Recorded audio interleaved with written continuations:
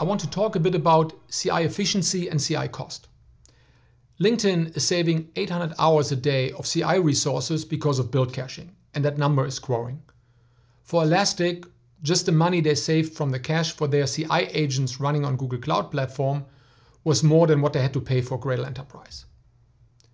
This is not just about caching. Wherever we go, we see build actions and tests being executed unnecessarily, often twice. Build parallelization is not optimized, and build actions operate ineffectively. How could it be any different? Without the insights to monitor and profile, which is what Gradle Enterprise enables you to do, and which not just makes the build faster, but also reduces CI cost. We discussed in detail how to proactively manage and minimize avoidable build and test failures. We discussed how those failures affect developer productivity. Every build that fails because of environmental issues is also wasting CI resources, and Gradle Enterprise helps you to reduce this waste. This is also about quality of service.